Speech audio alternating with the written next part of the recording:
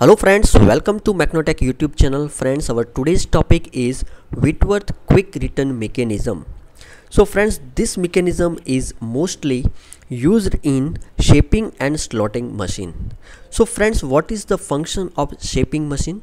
So during the cutting stroke, we remove the material, right? So in a shaping machine, the cutting stroke we remove the material and return stroke is we can say it is a ideal stroke okay? So we have to return this tool in a fast manner okay? So uh, the cutting stroke having a slow speed and return stroke should have a high speed.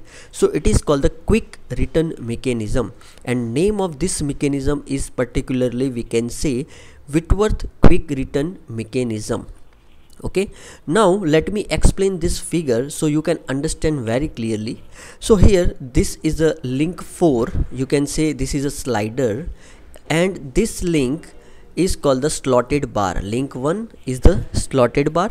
And link 4 that is a slider which slide inside the slotted bar okay? Then here link 2 is the fixed link. You know any mechanism there is one fixed link. So link 2 is a fixed link okay? This is a crank which rotate here in a dotted line. You can see uh, you can see here. And this slot is connected with the driving crank with the link 3 and its path is also like here uh, you can see in a dotted line okay?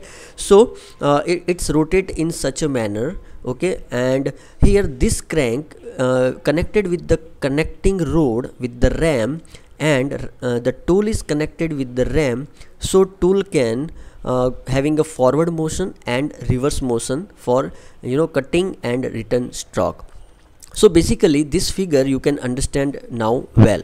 So what happened? When the this driving crank rotate okay from this position as as you can see the cursor so driving crank rotate here and as per that this crank is also rotate in this path okay? You can see here this path. And because of this rotation the connecting rod will uh, uh, you know connecting rod connect with the ram and the there is a forward and return stroke of the ram. Now uh, here there is a cutting stroke which is given by the alpha.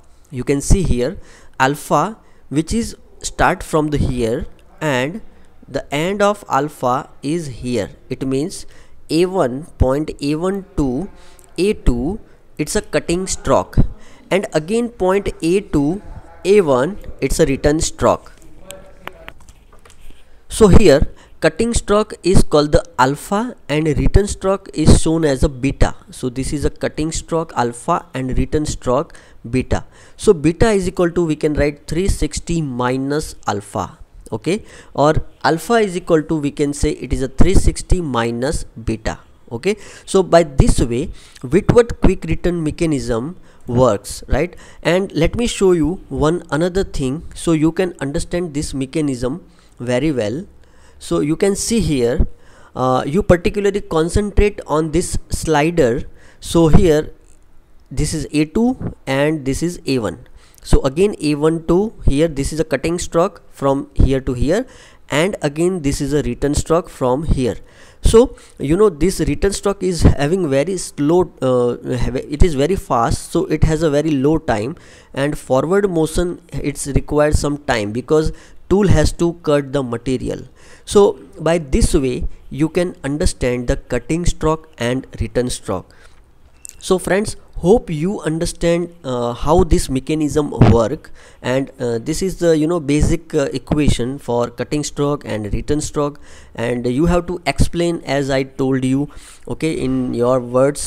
So thank you. Thank you very much. If you like this video then uh, uh, like it share it. And please don't forget to subscribe. Thank you. Jai hind. Jai bharat